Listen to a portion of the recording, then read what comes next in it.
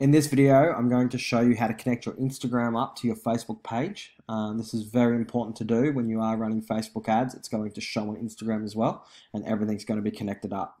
A lot of people don't run Instagram ads, or they just run Instagram ads, not Facebook ads, vice versa. Do it this way because it's a lot easier.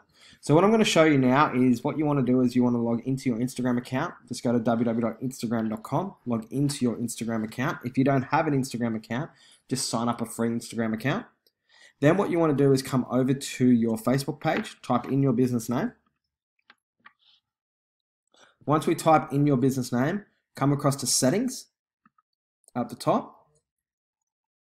And what you're going to see here is you're going to see something called Instagram.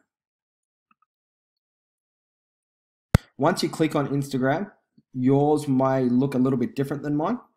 So as you can see here that uh, mine is completely different. I can press disconnect account if I want, but what you want to do here is it's very basic. Just go to log into Instagram and log in with your details to Instagram. Once you log into the Instagram, you will see your Instagram pages. So as you can see here that I've got two Instagram pages connected um, to the one account. One's Marketing Global Stores, the other one's Marketing Global Stores. It's spelled a little bit different. Uh, two different niches we're running. One is for our dropshipping side of things, and our other uh, Marketing Global Stores is for our brand awareness and our marketing only.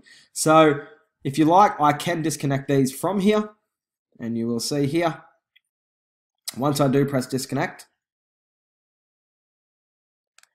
it says that I'm not connected. So what we're going to do now is going to press connect account. Once we press just connect, it's going to ask us for our details. And I'm going to press connect. And this is what you're going to see as well. So once I connect that up, it's just got to load. And you can see right now, all my information there from my Instagram account has now been connected. So the good thing now is I now that I can run Facebook ads and they'll be pushed across to my Instagram ads as well. And we'll get to that we'll get to that very soon. So literally that's how quickly you can connect your Instagram account to your Facebook page. It's very simple and literally only take you a couple of minutes to do. In the next video, I'm going to show you how you can look at your competitors' Facebook ads and you can actually steal uh, great ideas from your face from your competitors. So what I mean by steal, we're not going to steal their Facebook ads, but what we're going to do is we're going to I'm going to show you how to figure out which one's their best Facebook ads, and you know how you know they've probably spent hundreds or thousands of dollars, um, you know, perfecting their ads to where they are today.